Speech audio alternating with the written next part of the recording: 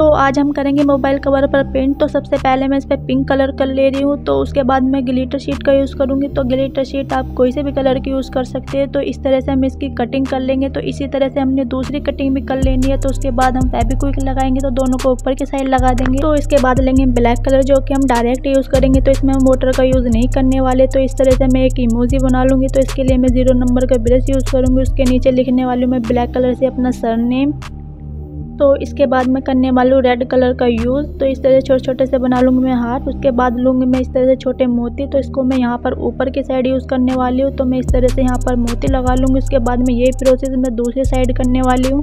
तो बस दूसरी साइड भी हमारा कंप्लीट हो चुका है तो उसके बाद मैं यहाँ पर लगा ले रही हूँ फेविकॉल। तो इन्हीं मोती का यूज़ मैं यहाँ पर करने वाली हूँ तो आप किसी भी कलर के मोती का यूज़ कर सकते हो। तो बस अब हमारा कवर कंप्लीट हो चुका है तो प्लीज़ वीडियो अच्छी लगी तो like, comment, share and channel को सब्सक्राइब कर देना। तो मिलते हैं नेक्स्ट वीडियो में।